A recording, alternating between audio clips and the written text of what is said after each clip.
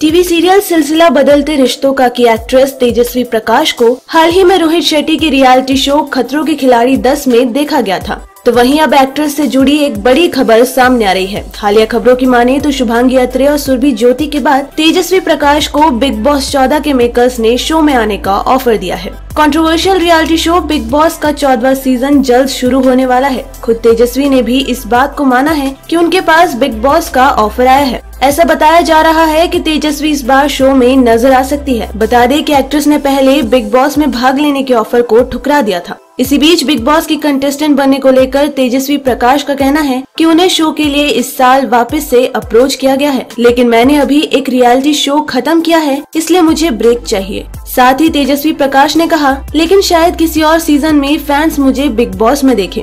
Show के makers तेजस्वी को show में लाने के लिए पूरी कोशिश कर रहे हैं। तेजस्वी प्रकाश ने खतरों के खिलाड़ी 10 में पार्टिसिपेट किया था, पर वे शो से एलिमिनेट हो गई थी। अब तेजस्वी के बिग बॉस 14 में आने की खबरों से उनके फैंस में खुशी की लहर दौड़ गई है। हालाँकि मेकर्स के तेजस्वी को अप्रोच करने के बाद से अभिनेत्री ने कोई रिएक्शन नहीं दिया है। बिग बॉस से जुड़ी ऐसे ही लेटेस्ट अपडेट्स जानने के लिए बने रहिए हमारे साथ। आपको इस रिपोर्ट के बारे में क्या है कहना हमें कमेंट करके ज़रूर बताएँ। और अगर आपको न्यूज़ पसंद आई तो लाइक और शेयर करें। डेली ट्रेंडिंग न्यूज़ की रिपोर्ट सब्सक्राइब कीजिए हमारे चैनल लेटेस्ट और इंटरेस्टिंग न्यूज़ के लिए।